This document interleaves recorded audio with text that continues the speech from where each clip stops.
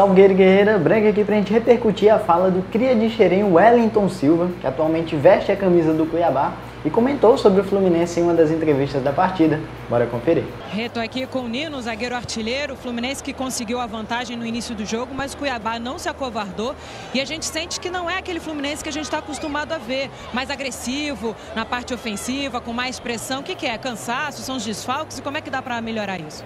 Não, é, junta a boa equipe do Cuiabá, que nos últimos jogos teve resultados que não, não mostraram que foi o jogo deles com algumas coisas que a gente deixou de fazer. É, a gente sabe que nossa maior força é correr, é marcar.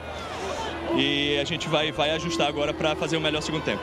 Wellington, vocês levaram o primeiro gol muito no começo do jogo, mas continuaram pressionando e conseguiram boas oportunidades, principalmente pelo seu lado, pelo lado esquerdo. Essa é a postura que vocês é, combinaram de adotar, principalmente jogando fora de casa, com o Fluminense que normalmente é agressivo? Boa noite.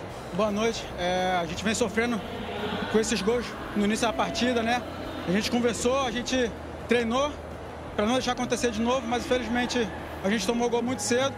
Mas é isso, a equipe não desistiu, a gente continuou tentando, tivemos algumas chances, mas nós sabemos, né, como o Fluminense vem jogando, está sendo bem, bem treinado, né? Estão jogando futebol muito bonito, então a gente tem que nos esforçar mais, voltar para o segundo tempo mais forte ainda para tentar pelo menos o, o empate. E aí, Ticolo, postura bem diferente da do Marlon, que também passou pelo Fluminense e na última partida contra o Cruzeiro soltou o verbo na entrevista, que inclusive você pode conferir no primeiro link aqui da descrição. Não esquece de se inscrever no canal. Tamo junto. Saudações, Colors.